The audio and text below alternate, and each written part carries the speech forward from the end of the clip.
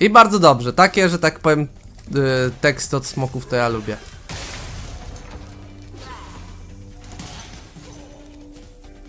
Elza, pocałuj mnie. Zaraz Spyro tutaj zaśpiewa tobie piękną pieśń Kraina Lodu. To będzie dopiero cacy i fajne.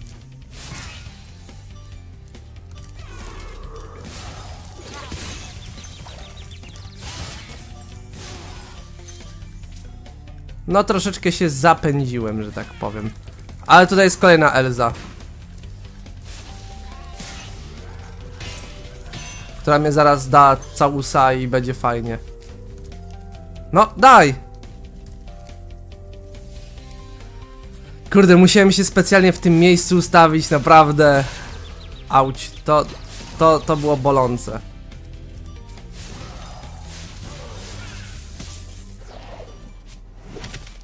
Serio? A matko, w takim fajnym miejscu stracić życie. Seriously? To jest po prostu głupie. Ale okej, nie mnie to oceniać. No Teraz trzeba się tam dostać z powrotem. Pozdro 600.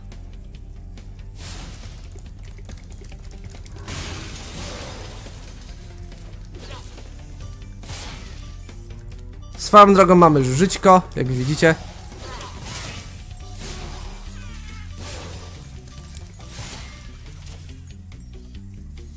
Czyli honory Elza V2.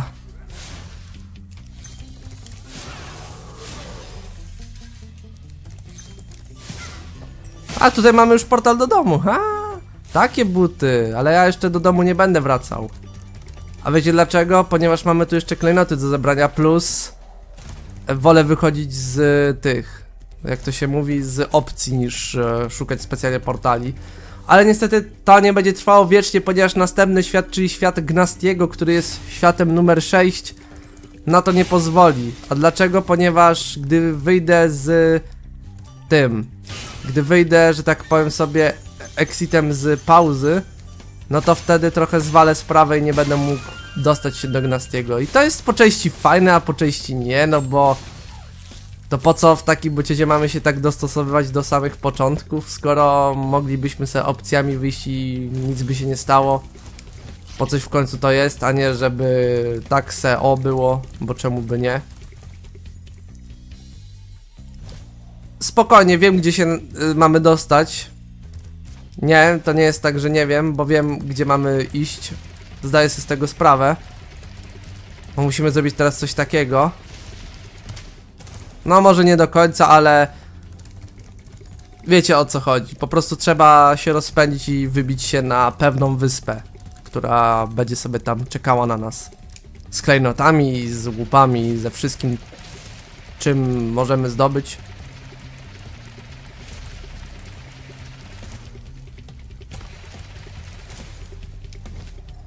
No jak widzicie dostałem się tutaj. Właśnie to między innymi tutaj mieliśmy się dostać.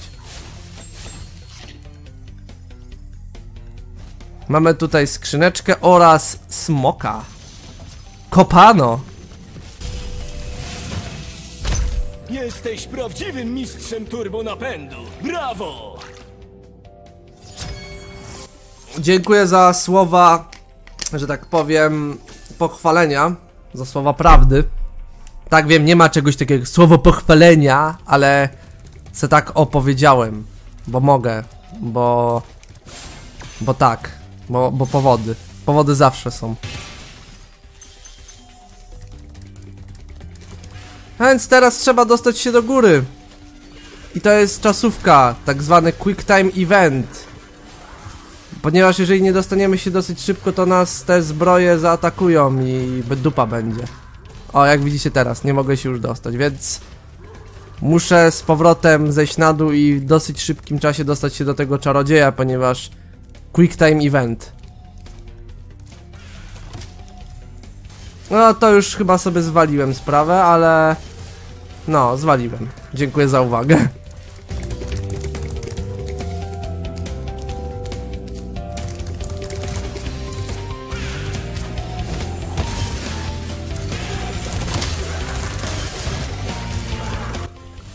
Może jeszcze się uda. Nie wszystko jest stracone. Dokładnie, nie wszystko jest stracone i się udało.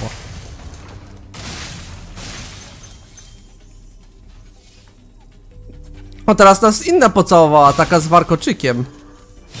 Ej, ale ta z kolei pocałowała nas i nie mamy tutaj żadnego tego ogranicznika. O lol. Znaczy, ja o tym wiem oczywiście, bo no nie pierwszy raz gram w Spyro 1, ale tak szczerze, to jest fajne. To ja zawsze doceniałem i zawsze lubiłem w Spiro.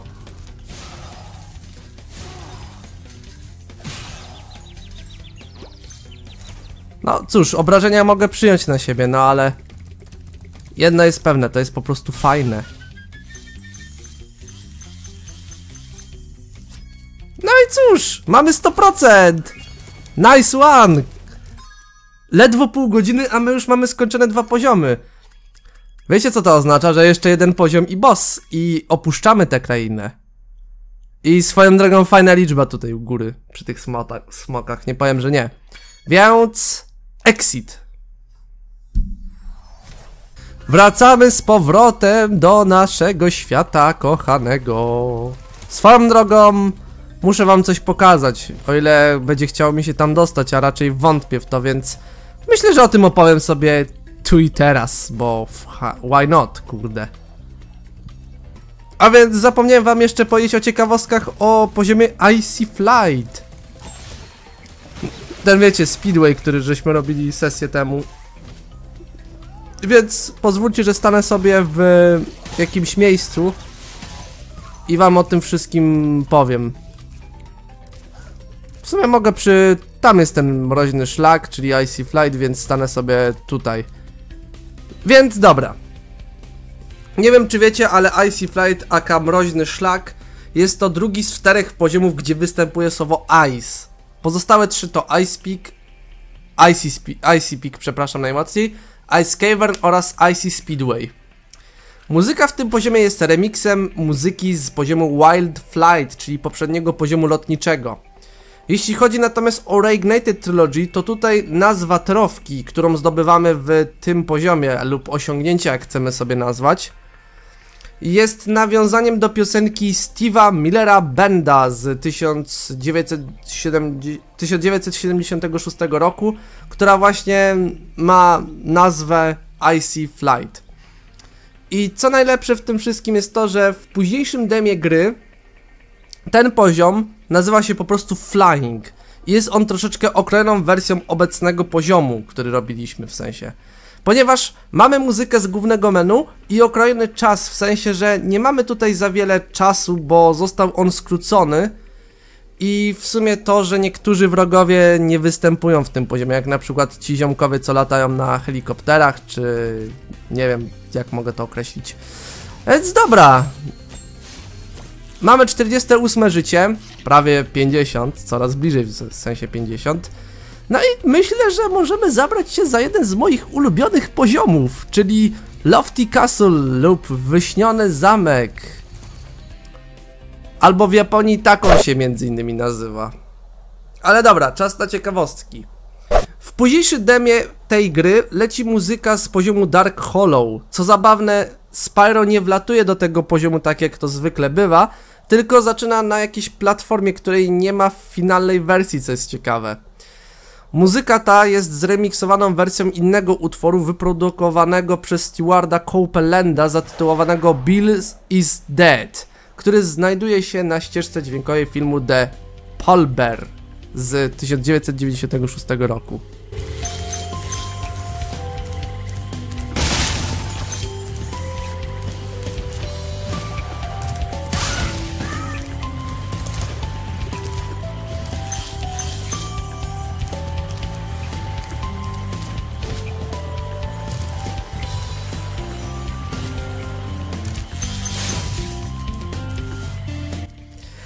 Ten soundtrack jest po prostu przepiękny, ten poziom jest przepiękny i w ogóle otoczenie tego poziomu jest przepiękne i generalnie muzyka w oryginale, jak i w Reignited jest po prostu przepiękna. To, ten poziom to jest prawdziwa definicja piękna, jak dla mnie. Ale dobra, zadanie w tym poziomie jest takie, że musimy ratować wróżki, musimy, że tak powiem, tych diabełków tutaj atakować oraz co jakiś czas atakować e, gnorków, którzy unoszą się na balonach. W sensie, wiecie, musimy zaatakować ogniem ten balon, który tam u góry, wiecie, jest. No i właśnie między innymi ten balon musimy atakować. No i ratować wróżki, które są zamknięte w klatkach, nie wiedzieć czemu. Nie wiem, czy gnorkowie się na to przygotowali, na ten precedens, ale... Tia. I trzy takie wróżki przelatują sobie obok tego okrągu lub tej platformy i one tworzą nam właśnie wir, który nas zabiera na drugą stronę. Mudada! Na wróżki zawsze możesz liczyć, Spyro. E, dziękuję za te słowa. I mamy w ogóle już 10 smoków do końca gry. Tak jest, 10 smoków i mamy koniec gry. Będziemy mieli grę zrobioną na 120%. Co jest cool. I uwaga, kolejna taka mini ciekawostka, którą pewnie zauważyliście, ale zaraz do niej przejdę. Już chyba wiecie o co mi chodzi. A jak nie wiecie, no to pozwólcie, że wam to wytłumaczę. Widzicie tutaj sobie tą skrzynkę z czerwonym kryształem? Jest to pierwszy raz i jest to jedyny poziom, gdzie ta skrzynka debiutuje. Bo w poprzednich poziomach nie było skrzynki, która miała właśnie taki kryształ o wartości 1. Więc jestem z tego powodu zadowolony i wr- i wręcz zadziwiony, że coś takiego ma miejsce, no ale jest to fajne. I żyćko. 49 żyćko. Jeżeli chodzi o moje wspomnienia, to uwielbiałem ten poziom za dzieciaka, uwielbiałem ten poziom, kiedy nagrywałem let's play te 4 lata temu i uwielbiam go do dzisiaj. Za soundtrack, za otoczenie, za grafikę, za po prostu to, że to jest prawdziwa definicja piękna w tej gierce. Ja to zawsze będę podtrzymywał. Ten poziom to jest definicja piękna i mam gdzieś, czy ktoś tutaj będzie mnie krytykował za to, że "E, bo ty masz takie gusta, a nie inne. Ja lubię inny poziom i inne poziomy też zasługują na ch- trochę miłości. A dla mnie na przykład ten poziom zasługuje na trochę miłości. Tym bardziej, że są osoby, które mogą nie lubić tego poziomu. A ja jestem jedną z tych osób, które uwielbia wręcz ten poziom. Jest moim ulubionym i na pewno znalazłby się na top, nie wiem, 5 lub top 10 ulubionych poziomów ze Spyro. Z serii Spyro ogólnie. I 50 żyć mamy. Tyle żyć bym w ogóle nie zebrał w oryginalnym Spyro. Ale jest jeszcze jeden poziom, który jest definicją piękna. I to jest właśnie konfrontacja z bossem, który będzie na nas czekał po tym poziomie. Czyli z Żakiem. No, Żak ma też fajny soundtrack i też generalnie e, fajne otoczenie ma, no i ogólnie jest fajna to konfrontacja z bossem, nie powiem, że nie. A ja właśnie idę jeszcze trzepnąć tego gnorka, którego pominąłem, nie wiedzieć czemu, ponieważ w momencie, kiedy chciałem się unieść wysoko, to no właśnie zrobił coś takiego. że Se poleciał w dół i ja nie mogłem go jakoś trafić. Lećmy do góry, ponieważ tutaj u góry jest smok. Dokładnie tak. I ciekawe, kogo my tutaj uratujemy. I swoją drogą klucz. Ciekawe, po co nam jest ten klucz. Useni! A, Spyro, dzięki! Turbo napęd ułatwia przemieszczanie się nawet tu, w wyśnionym zamku. Sprawdź, dokąd cię zabierze. Dziękuję, kapitanie Obvious, za takie rzeczy. Więc lecimy na turbo napędzie. I trochę zwaliłem sprawę, bo nie tak miałem to zrobić. Oho, okej, dobra. Ehehem, teraz będzie się śmianie, że ahaha, Michał nie ogarnął, Michał to coś zwalił. Spokojnie, mam to wszystko pod kontrolą.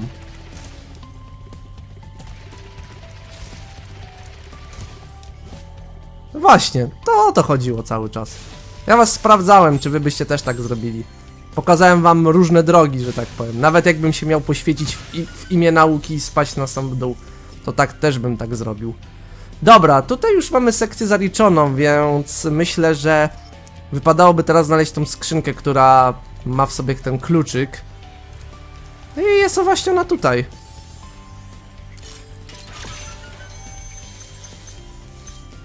to jeszcze nie jest wszystko, ponieważ mamy raptem 272 klejnoty, a ten poziom liczy sobie 400 klejnotów. Ale mamy już taką, myślę, że ponad połowę klejnotów zebranych, I guess.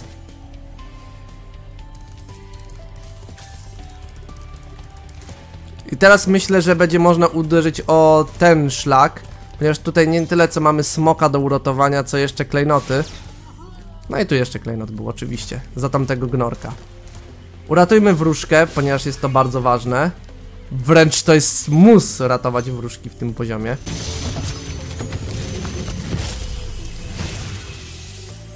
Dziękuję za uwolnienie. 72 smoki, to jest też ładny wynik, nie powiem, że nie. Szkoda teraz, że te smoki mają kurde takie leniwe, leniwy swój, że tak powiem trochę dubbing, bo w większości to teraz są teksty pokroju dziękuję za uwolnienie mnie. Jakby nie potrafili się, nie wiem, troszeczkę wykazać bardziej. No i wiecie, to, to jest przyczepianie się o pierdołę, ale z drugiej strony ja bym wolał żeby ta pierdoła była, nie wiem, jakaś satysfakcjonująca, nie wiem, jakby smoki powiedziały coś pokroju, że hej, hej, hej, czemu się spóźniłeś, czemu dopiero mnie teraz uratowałeś, czy coś, to byłoby dopiero dobre. A tak to ciągle jest, dzięki, że mnie uwolniłeś, dzięki, że mnie uwolniłeś. I to jest takie nudne już trochę w słuchaniu. To jest też problem, jaki miałem z oryginalnym Spyro 1. No ale trudno się mówi, niestety nie można mieć wszystkiego w tym wypadku. Ale szkoda, szkoda, że twórcy tak nie zrobili, bo to by było fajne. To by było naprawdę mega fest fajne i myślę, że nie tylko mi by się to podobało, ale też niektórym osobom. I nie, to nie jest tak, że ja mam problem do twórców, którzy zrobili Reignited czyli do Toys for Bob. Broń Boże, ja po prostu mówię o ogóle, że trochę żałuję, że nawet twórcy, w sensie Insomniak, nie? Że oni czegoś takiego też nie ogarnęli. Za czasów... E, kiedy Spyro 1 raczkował. I mówię tutaj cały czas o Spyro 1, który był pierwszy, a nie o Reignited.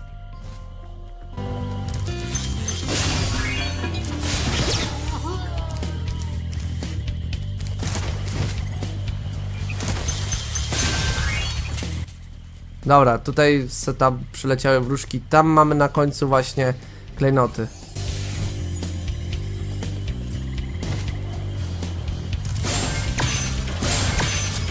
400 na 400. Poziom ukończony w 100%. Mamy wszystko zebrane. Uratowanych trzech smoków mamy oraz 400 na 400, więc możemy już ten poziom opuścić, ale chyba wyjdziemy normalnym exitem, tak sądzę. Więc widzimy się teraz w sumie albo przy portalu z bossem, albo widzimy się praktycznie jak wylecę z tego portalu. Wiecie, trochę muszę tutaj poszarżować smok y, tym ogniem. A, jesteśmy z powrotem. A powiem wam szczerze, że mi szkoda. Żegnaj, Lofty Castle. To jest piękny poziom. Naprawdę mi jest bardzo szkoda opuszczać, kurde, Lofty Castle. Ja bym mógł ten poziom grać, kurde, nie wiem, 24H. I chyba po skończeniu serii ze Spyro tak też zrobię. Będę wracał i ciągle grał w Lofty Castle, ewentualnie w siedzibę Żaka, do którego będziemy się teraz udać. Będziemy chcieli w sensie się udać, ponieważ tam mamy balonistę, który nas zabierze już na ostatni świat. Więc myślę, że nadszedł czas na siedzibę Żaka. Tutaj wam prawdopodobnie pojawi się wersja japońska nazwy tego poziomu i przy okazji bossa, ponieważ jest jakaś taka trochę dziwna z tego co pamiętam. I let's go! Ciekawostki o Żaku są następujące. Muzyka tego poziomu znajduje się w albumie Stewarda Copenlanda pod nazwą Copenland Anthology. W późniejszym demie leci tutaj muzyka z poziomu Ice Cavern. Dodatkowo w tym demie Żak częściej rzuca pudłami niż w finalnej wersji.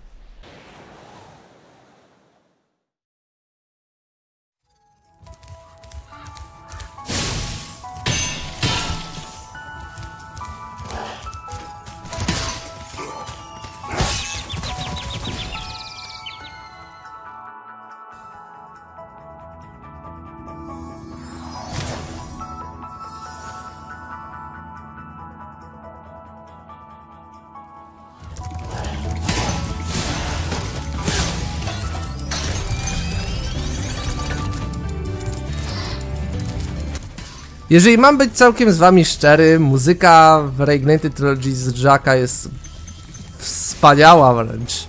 Nie, powiem szczerze, że może nie jest ona tak bardzo dobra jak oryginalna e, oryginalna nutka Jacka, ale przyznam, że też zła nie jest. Jest po prostu ona zarąbista. Mówię to bez żadnych tutaj żadnych tutaj kurde ironii, sarkazmów czy czegokolwiek. Po prostu ten poziom, jak i muzyka tego poziomu to po prostu istne złoto i Stuart Copeland odwalił kawał dobrej roboty. No i przy okazji pewnie współpracował z... Właśnie tutaj nie mam pewności, czy on współpracował tutaj z ludźmi tworzącymi soundtrack do Reignited, czy on sam również uczestniczył w tym tworzeniu soundtracku na nowo, tej odświeżonej wersji. Nie mam tutaj pewności stuprocentowej, ale... Ale no.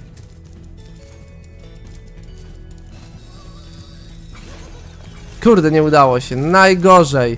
Tamta platforma przy okazji opadła, więc trzeba, trzeba raz jeszcze zrobić coś takiego. Bo tam przy okazji są klejnoty, tam wiecie, jest dużo fajnych rzeczy. Tak jak widzicie tutaj zresztą. Więc lecimy tutaj do tego smoka. A nie mówiłem, że tutaj mamy dwóch smoków do ratowania, tak by the way. Unikat! Dziękuję, że mnie uwolniłeś, Spyro. Trzymaj się. No, a ja cieszę się, że ciebie uratowałem. Hashtag sarkazm, bo się wcale nie postarałeś, mój drogi kolego.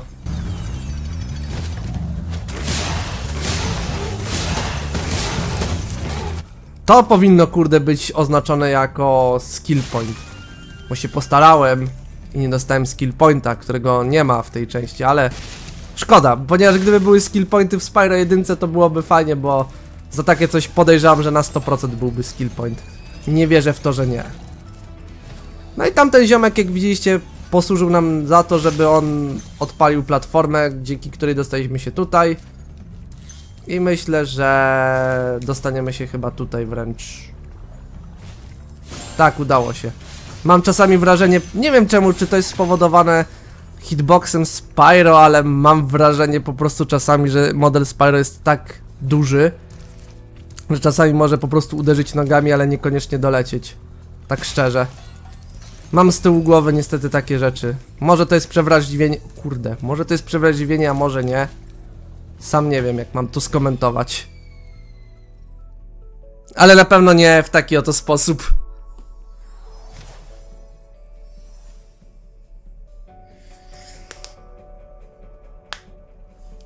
Dobra. Mm, trzeba wrócić z powrotem.